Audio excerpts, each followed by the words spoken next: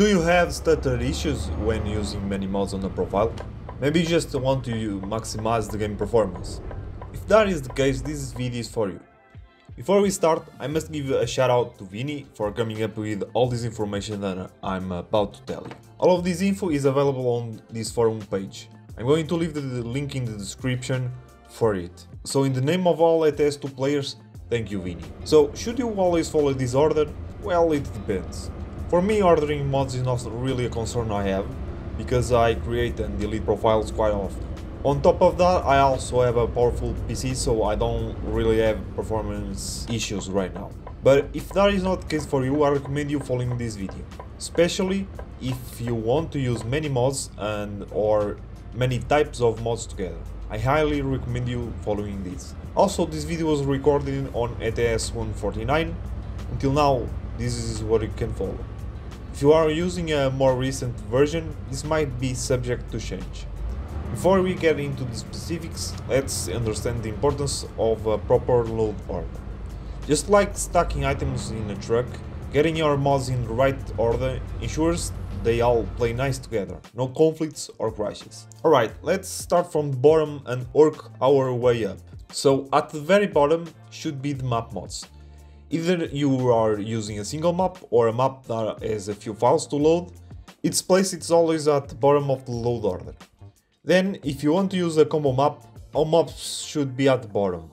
This is more tricky, but I will leave it for another time. Then we have got truck mods. Whether you are driving a Volvo or Scania modded trucks, organize your truck mods to avoid conflict with other vehicle related modifications. Don't forget about the trailers. Organize your trailers to ensure that they seamlessly integrate your trucks and skins. If you use trailer mods, this is the place. Show off your style with the skin mods, whether you prefer sleek designs or eye-catching patterns.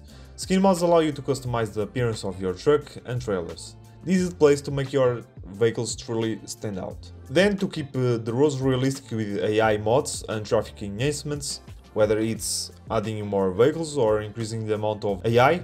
If you want to use traffic mods, this is the place for them. Want to customize your trucks with tuning part mods? From interior add-ons to exterior lights, these additions allow you to personalize your vehicles to your heart's content. As always, everyone uses this type of mods, it's recommended to place them right in this section. For a more immersive driving experience, you might consider adding physics mods.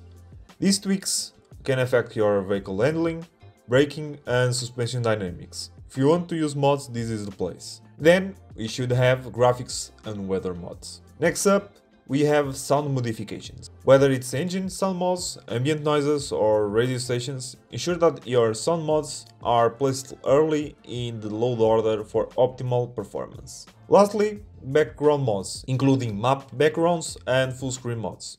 These mods may seem minor, but they are great in some cases. If you want to use this, this is the place. And there you have it, the guide to ordering mods in Euro Truck Simulator 2. Don't forget to hit the subscribe button and follow me on all social media for more modding tutorials.